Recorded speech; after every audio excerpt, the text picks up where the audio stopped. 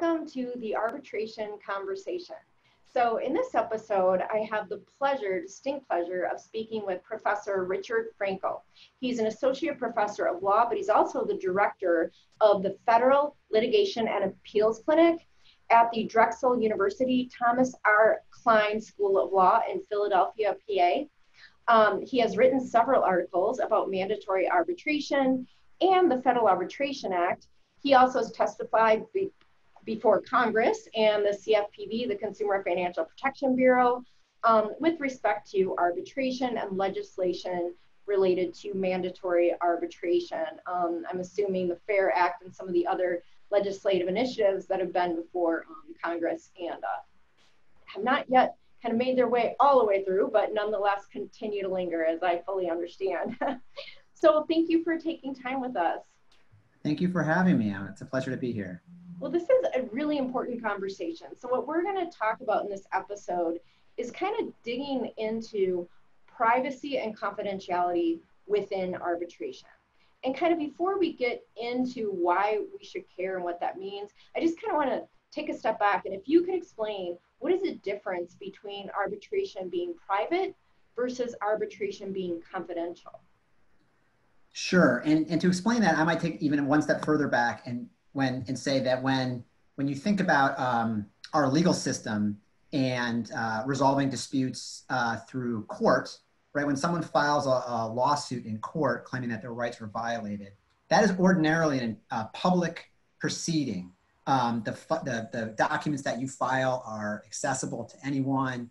Hearings are open to the public. Journalists can cover them and report on them, um, right? Our, our standard conception of our justice system is that it's a public justice system and that there's sunshine there so that everyone can understand what's, what's going on. Uh, arbitration uh, generally is a, is a private system. Um, and uh, uh um, yeah, I'm in my wife's office and I don't know how to, how to uh, stop the phone, but uh, it'll stop eventually. Um, so arbitration is a private system in that it, it's not open to the public it's it's designed to be a dispute. You know, uh, just involve the parties to the dispute, the plaintiff and the defendant. Um, so arbitration is a, is a is a is a private form of dispute resolution. Um, it does it takes place behind closed doors in the sense that um, it just involves the parties to dispute, the plaintiff and the defendant, and whoever the arbitrators arbitrator or arbitrators are who are going to decide it. So it's not open to the public in the same way. Um, that doesn't automatically make it confidential right? The parties might still be able to talk to other people about the arbitration, publicize it. Um, but in many cases, uh, the same contract that includes the arbitration clause requiring the parties to give up their right to go to court will also have a confidentiality provision, or some cases even a gag order um, that will prohibit the parties from saying anything about the dispute, sharing info, prohibiting them from sharing information from, with other uh, people who may be similarly affected by the same type of misconduct that's being alleged in that particular case.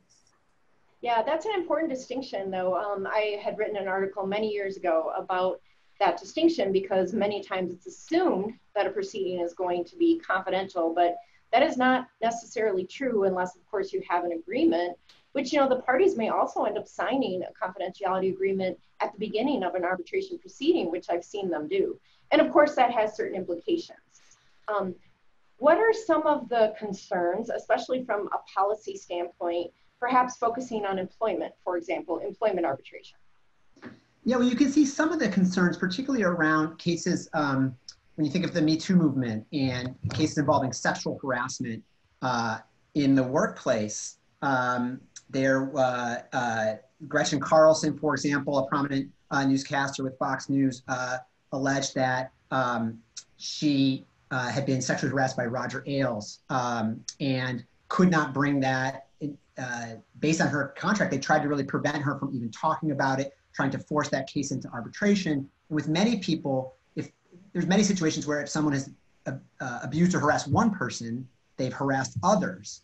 And so when you allow this information to be kept quiet, that allows the person to continue harassing other people um, or mistreating other people or discriminating against other people uh, without anybody finding out what happened. That happened. Bill O'Reilly is another example where that happened, and there were multiple victims. Um, the head of the clothing company American Apparel, uh, same sort of situation where he harassed or allegedly harassed a number of people over a course of 10 years, and no one really knew about it for a long time because uh, the cases were either forced into arbitration, they had confidentiality provisions, or other uh, similar types of situations. Whereas if those cases had been able to be brought in court, um, uh, they could find out about those uh, much more quickly.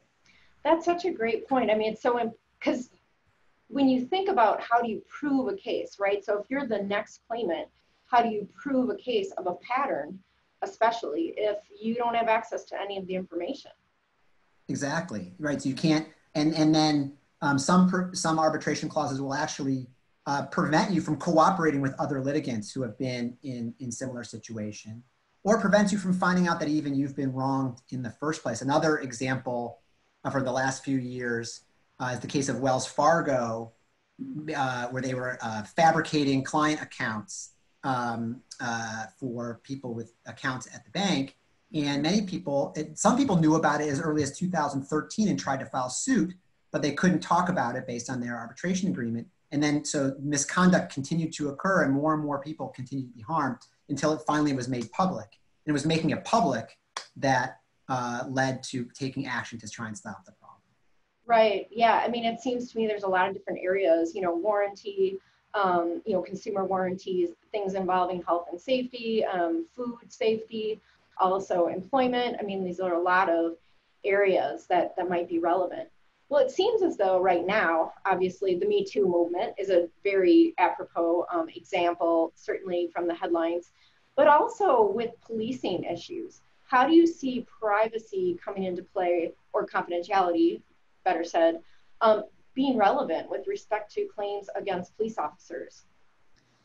Yeah, well, that's a, that's a great question, and I the the there's a system of arbitration for um, often for disciplinary action taken against police officers uh, who commit con- misconduct uh, or conduct violations. And that's a little bit of a different sort of arbitration than you see in the in the consumer or employment uh, context. But I think the similarity is that um, often it's very, very difficult to find out which police officers have been ever been accused of misconduct, how those claims have been resolved, um, and the arbitration system there also tends to hamstring um, or stymie reformist um, police chiefs who really want to sort of weed out uh, misconduct, history of racism in the police force, um, uh, uh, and often people who commit misconduct get reinstated through that arbitration system. Uh, so it does, it does, there is a bit of a privacy um, aspect there in, in the difficulty of finding out what's going on. Yeah, I imagine. Well, like you said, this is different. I mean, now we're talking mainly probably um, this would be under a collective bargaining agreement in sort of a labor setting. Um, how do you know what some of these collective bargaining agreements say with respect to arbitration and confidentiality in the proceedings? I'm less familiar with the um, with how things work in the collective bargaining area than in the, and I'm a little less concerned about abuses in that system, putting the police aside because I feel like they're at least the union hat the union is looking out for its employees um, and they have strong bargaining power with the company uh, that they can really try to design a system of rules that I think will be fair, uh, fairer for, for both sides. Whereas for an individual consumer or an employee who's agreeing to work for Fox News or American Apparel, they may not even know that there's an arbitration clause in their contract, let alone what the of Right, right, especially if other, NDA, yeah. And I think the other important difference is, particularly with employment, with if you're um, uh, with race discrimination, sex discrimination, um, or other misbehavior in the workplace, it inherently involves uh, a power dynamic. There's a there's a group with a, histo- a historic um, experience of discrimination, of not being given equality uh, in the workplace or, or uh, in uh, or other aspects of, of life, and you have the people in power in uh, in the office who um, may not be a one-to-one, uh, you know, may not reflect the diversity of that particular workplace.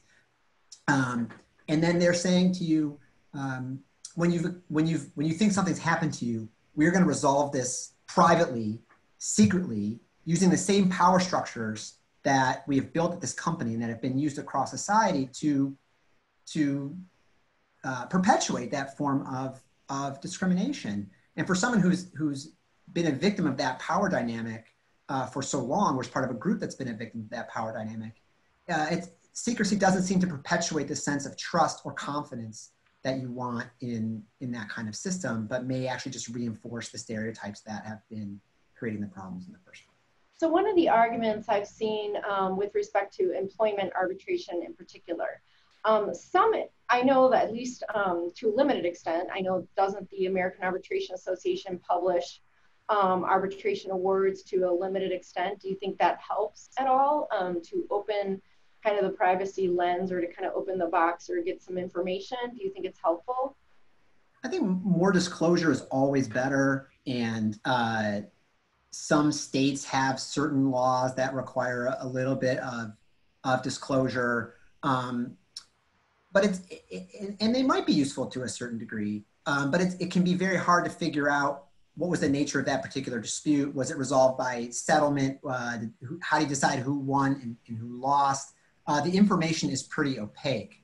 Um, I think what's also useful is when the arbitration providers um, or other companies would be willing to open up their data for study by academics and other individuals who want to really take a close look. And when there have been studies, they really suggest that arbitration seems to be a more favorable uh, venue for the employer than the employee compared to going to court certainly transparency um, can be incredibly helpful for a lot of different reasons trust as you mentioned um, but also assessing fairness right and and actually looking at the the results of these arbitrations.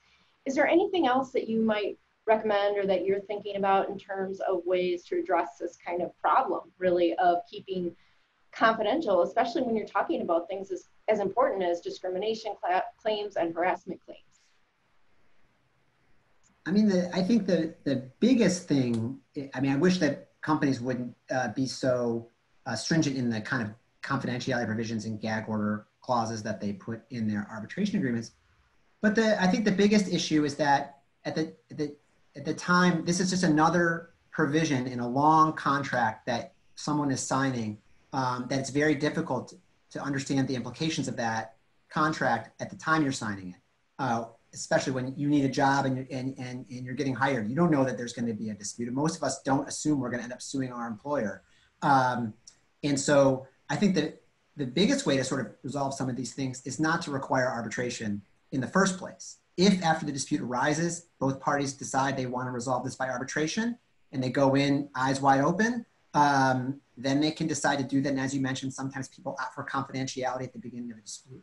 But that's when they should be able to make that decision um, and not at the outset when uh, you're being forced to sign it as part of a contract that you have no power to negotiate. Well, and of course, we always say that um, arbitration is supposed to be a consensual creature of, of contract. So, um, you know, why not allow for it to actually be consensual when both sides know what they're getting into, right? So, and you know, there it could be. I mean, on the flip side, let's look at the positives, right? So, if we want to kind of be balanced in thinking about arbitration, you know, arbitration might in fact be a more efficient and fair way of resolving um, different consumer or, or, or employment um, claims, um, depending on the facts and circumstances. In fact, the employee may, might actually want it to be quiet, or it might involve intellectual property or things that they don't really want to have out in the open. Um, but I guess the real question is allowing for it to be consensual. Yeah, I think that's a very uh, a very good way of putting it, right? I mean, plenty of people might want, maybe both sides don't want anybody to know about this. Maybe it involves embarrassing details, right? I mean, the your discrimination is a very personal uh, thing that someone, you know, no one should have to experience, and that's it's you know maybe someone doesn't want to have to expose that to the world. Um, yeah. I can understand why people would want to keep their claims private, and they should be allowed to have that, as you said, consensual choice at the time the dispute arises. Right. And real choice, right? Yeah. Choice when you know what you're getting yourself into, um, which is a great point. So, thank you for taking this time with me today. This has been a really interesting discussion about privacy and confidentiality in arbitration. with Professor Frankel. I'm super thankful. Thank you for having the, taking the time with us today. Oh, thank you so much. I really enjoyed it.